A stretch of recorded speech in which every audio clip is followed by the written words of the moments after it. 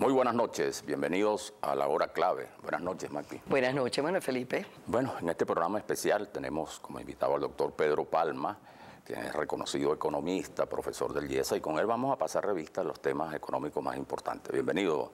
Gracias por la invitación, un placer estar con ustedes. Bueno, ya casi eh, se hacen todas las predicciones, las estimaciones en función del comportamiento económico del próximo año, el 2015.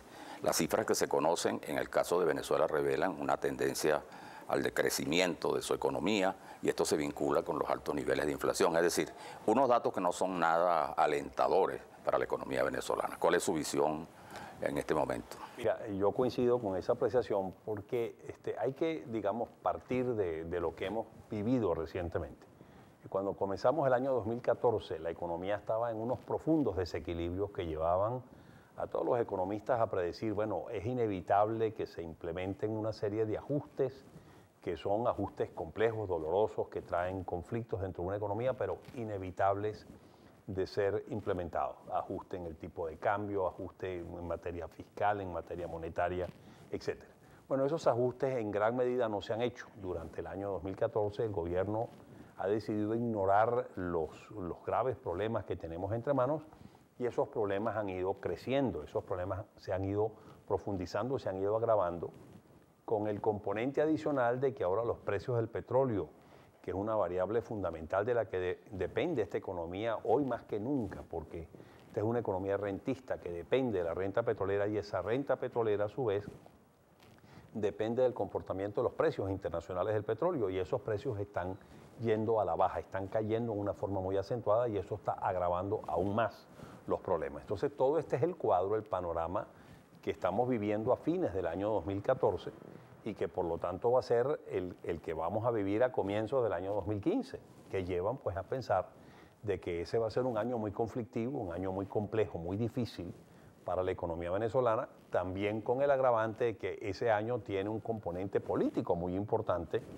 que es Son la las elección, elecciones es la parlamentarias. elección de la Asamblea Nacional, de los miembros de la Asamblea Nacional, eh, que ahora se habla de que vaya a ser en agosto o posiblemente en septiembre y no en diciembre. En fin, ya veremos qué Se pueden modificar de acuerdo a la situación política. ¿no? Exactamente, pero eso a su vez tiende tradicionalmente en Venezuela cuando hay elecciones, no hay devaluaciones, se postergan ajustes, etcétera, porque no se quiere, digamos, eh, generar un efecto negativo dentro de la población o una percepción de efecto negativo en la Que tiene, un, población que tiene un costo político. sin duda alguna que tenga un costo político. Bueno, vamos entonces a seguir postergando en el año 2015 los ajustes necesarios para afrontar esa serie de desequilibrios y problemas que tenemos entre manos.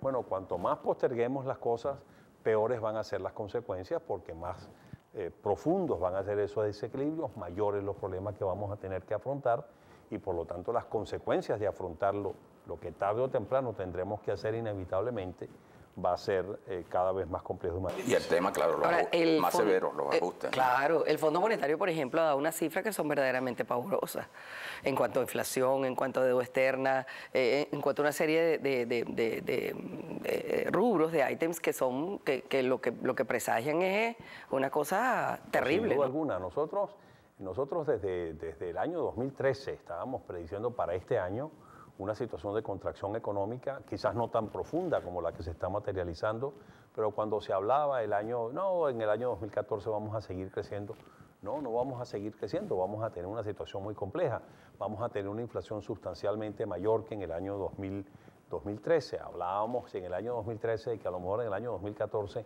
podíamos tener una inflación en torno al cin- al 60%, 55%, pero la inflación ha sido sustancialmente mayor que esa magnitud y por lo tanto, bueno, lo que estamos viendo es precisamente el agravamiento de lo que se preveía para el año 2014. Este va a ser un año cuyo resultado va a ser peor de lo que inicialmente se estaba previendo y lo que, lo que se dibuja pues para el año o lo que se vislumbra para el año 2015 no es, no es un escenario positivo. en materia de inflación, por ejemplo, se dice que estamos al borde de la hiperinflación. Algunos especialistas dicen que ya estamos en la práctica en un cuadro de hiperinflación. Bueno, mira, eh, eh, técnicamente la hiperinflación se ha definido este, como una inflación desatada donde eh, exige un 50% de inflación mensual. Eso es lo que tradicionalmente se hablaba antes, pero eso era en un mundo donde habían inflaciones de cuatro dígitos, 2.000, 3.000, 5.000%. Una hiperinflación se hablaba de inflación de cinco dígitos por encima del 10.000%. Bueno, esas son cuestiones que hoy se ven como históricas, porque ningún país tiene una inflación de esa magnitud en el mundo. Ahora, un país que tenga una inflación altísima, como es el caso de Venezuela, una de las inflaciones más altas del mundo, si no la más alta del mundo, por lo menos la más alta de las economías seguidas o de las economías importantes seguidas por especialistas internacionales como el The Economist, etcétera, nosotros tenemos la mayor inflación y esa es una inflación que está en 60, 70, en, los niveles que tenemos actualmente. Bueno, ahora aparentemente se está redefiniendo el concepto de hiperinflación y se dice que una inflación por encima de, 3, de 100%, una inflación de tres dígitos ya es una situación de hiperinflación y por lo tanto, bueno, si redefinimos el concepto de hiperinflación de acuerdo a esos nuevos criterios, sí, estamos a las puertas de una situación hiperinflacionaria.